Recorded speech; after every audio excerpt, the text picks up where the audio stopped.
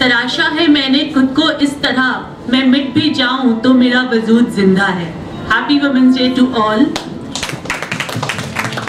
मेरी मेरी कविता का शीर्षक है नारी। शुरू करती हूँ। जरा समझो हमारी शक्ति को। जरा समझो हमारी शक्ति को। हमारे बढ़ते कदमों, हमारी मंजिल, हमारी तरक्की को।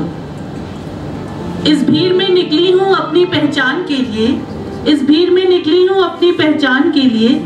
खुशी, हँसी अपनी मुस्कान के लिए। इस भीड़ में निकली हूँ अपने इस भीड़ में निकली हूँ अपने किरदार के लिए, हज़ार रंगों में से चुनने एक रंग के अधिकार के लिए। गुजारिश है गुजारिश है मेरी सबसे, कदर करो हमारी शक्ति की। गुजारिश है मेरी सबसे, कदर करो हमारी शक्ति की। हम ही है जिसने जन्म दिया इस दुनिया को। हम ही है जिसने जन्म दिया इस दुनिया को। देखो तो पाओगे जैसे लक्ष्मी और दुर्गा को। जरा समझो हमारी शक्ति को जरा मानो हमारी शक्ति को। आ, ये तो ऑफकोर्स वुमेन्स डे में स्पेशल था। जब मैं कुछ शायरी पेश करना चाहती हूँ जो मेरी माँ के लिए है क्योंकि माँ ऑफकोर्स माँ इज़ द फ़र्स्ट वुमेन और वही हमको लोगों को बताती है कि क्या ज़रूरी है हम लोगों के लिए। कुछ रूह से रास्ता होता है कुछ बुनियाद का वास्ता होता है। कुछ रूह से रास्ता होता है कुछ बुनियाद का वास्ता होता है। जो पहला निवाला माँ ने खिलाया उसमें एक जमाना होता है। उसमें एक जमाना होता है। अब मैं दूसरी पोएम पेश करूँ? ओपन माइक आप जितना चाहो बोल सकते of course this one also for women शीर्षक है बेटियाँ।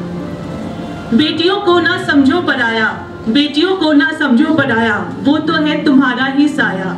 बीत गया वो पुराना जमाना। बीत गया वो पुराना जमाना। अब तो बेटियों को है दिल से अपनाना। बेटियों को है दिल से अपनाना। जिसने पाया धन दौलत, जिसने तो कमाया खूब रुपया, जिसने ना पाई प्यारी लक्ष्मी, उसने कमाया क्या खूब रुपया। बेटियों को ना समझो पराया। वो तो है तुम्हारा ही साया कहता है एक विवेक। विवेक मतलब विजडम। कहता है एक विवेक।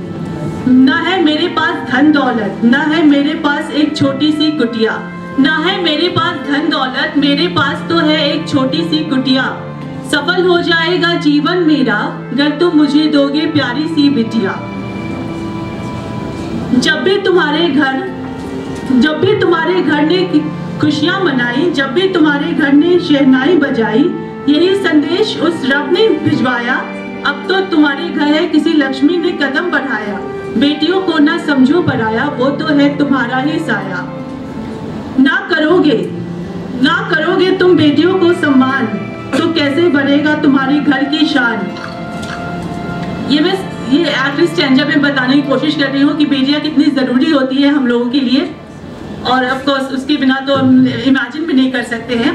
अरे मूर्ख! अब तो अपनी आँखें खोल, देख देख कर क्या रहा है? देख रब क्या रहा है बोल। समझो तूने सब कुछ पाया अगर तुमने बेटियों को ना समझा पढ़ाया अगर तुमने बेटियों को ना समझा पढ़ाया थैंक यू